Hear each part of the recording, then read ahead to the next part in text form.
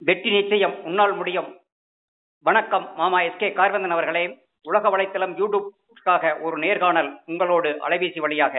ஒரு சில கேள்விகள் உங்களை கேட்கலாங்களா? தாராளமா நல்லா கேளுங்க உங்களுக்காக தான் வெயிட் பண்ணிட்டு இருக்கேன். உங்களை பற்றிய அறிமுகம் செய்து கொள்ளுங்கள்.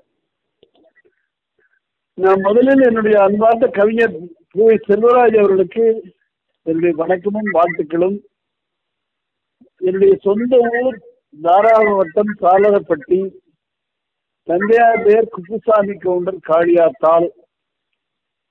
ஒரு எளிய விவசாய குடும்பத்திலே பிறந்தவன். என்னுடைய ஆரம்ப பள்ளிக்கல்வியை தாராபுரம் அரசினர் உயர்நிலைப் பள்ளியிலும் புகுமுக வகுப்பினை மதுரை தியாகராஜர் கல்லூரியிலும் ஈரோடு வாசகி கல்லூரியிலும் முடித்தேன். சட்டப்படிப்பை திரு- திருச்சி புனிதிய சூசியப்பர் கல்லூரியிலே அறுபத்தி ஒன்பது முதல் எழுபத்தி ரெண்டு வரை.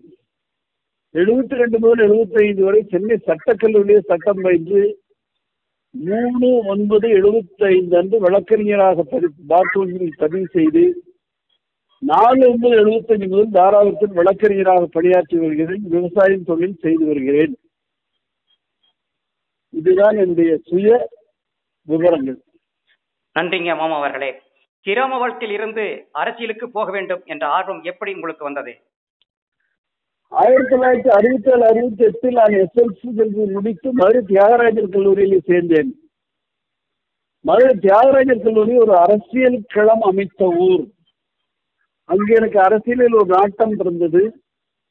தொடர்ந்து அறுபத்தி எட்டு அறுபத்தி ஒன்பது ஈரோடு வாசகி கல்லூரியிலே நான் திரும்ப படித்த போது மாணவர் பேரவை செயலாளர் பதவிக்கு போட்டியிட்டு முன்னூற்றி ஐம்பது வாக்குகள் வித்தியாசம் பெற்றேன். அப்பொழுது நம்முடைய தமிழகத்தினுடைய முன்னாள் முதல்வர் காமராஜர் அவர்களை சந்திக்கிற வாய்ப்பு கிடைத்தது. அப்பொழுது அவருடைய தொண்டனாக என்னை இணைத்துக் கொண்டேன். அது முதல் அரசியல் என்னோடு பழகிவிட்டது. திருச்சியிலே படிக்கிற போதும் சென்னை சட்டக்கல்லூரியில் படிக்கிற போதும் தீவிரமான அரசியலில் இருந்தேன். சட்டக்கல்லூரியில் படிக்கிற போதே விவசாயிகள் போராட்டத்திலே கலந்து கொண்டு சிறை செல்கிற சூழ்நிலை ஏற்பட்டது. வழக்கறிஞராக வந்தவுடன் வழக்கறிஞர் தொழில் நீதி நேரத்தில் அரசியல் என்பது என்னோடு முழுமையாக கலந்துவிட்டது எம்பியாக இருந்து சிறந்த பாராளும் சிறந்த பாராளுமன்றவாதி என்ற பெயரை எடுத்திருக்கிறீர்கள். நீங்கள் பாராளுமன்றத்தில் நீங்கள் எதை சாதித்ததாக எண்ணுகிறீர்கள்?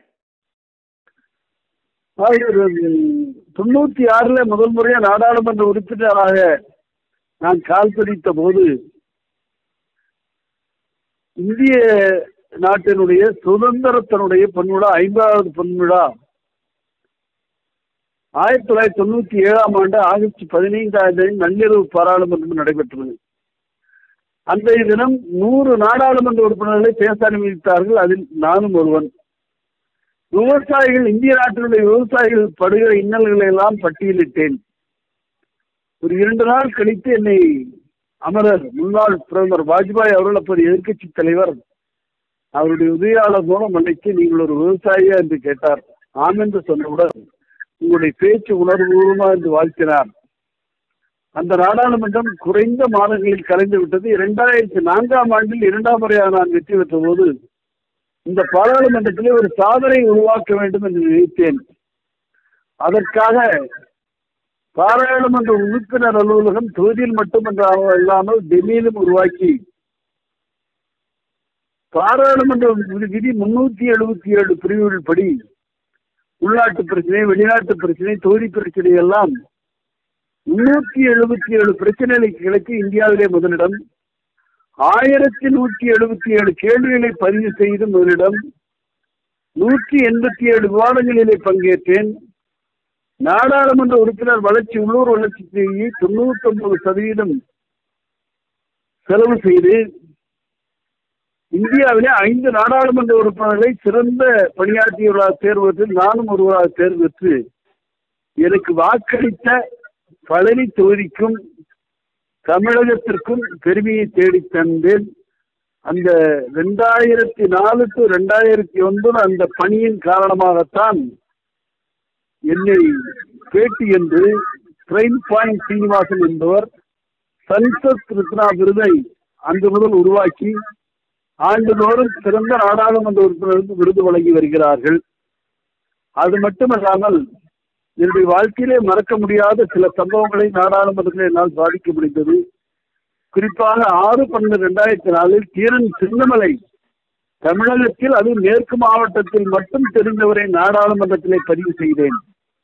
பதிவு செய்து அவருக்கு தபால் வெளியிட வேண்டும் என்கிற உத்தரவை பெற்று சென்னையிலே அப்போதைய முதல்வர் டாக்டர் கலைஞர் கலைஞர் தலைமையிலே சான்று வெளியிடப்பட்டது. அதேபோல திருப்பூர் குமரன் தில்லையாடி வள்ளிமை போன்றவர்களை எல்லாம் நாடாளுமன்றத்தில் பதிவு செய்தேன்.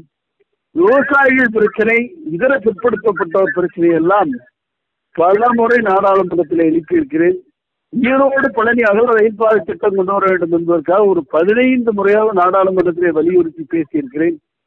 ஆகவே நாடாளுமன்றம் எனக்கு கொடுத்த வாய்ப்பை நான் மக்கள் பழனி தொகுதி மக்கள் கொடுத்த வாய்ப்பை முழுமையாக மக்கள் பணிக்காக பயன்படுத்தி இருப்பதில் எனக்கு ஒரு மனநிறைவு என்பதை தெரிவித்துக் கொள்கிறேன்.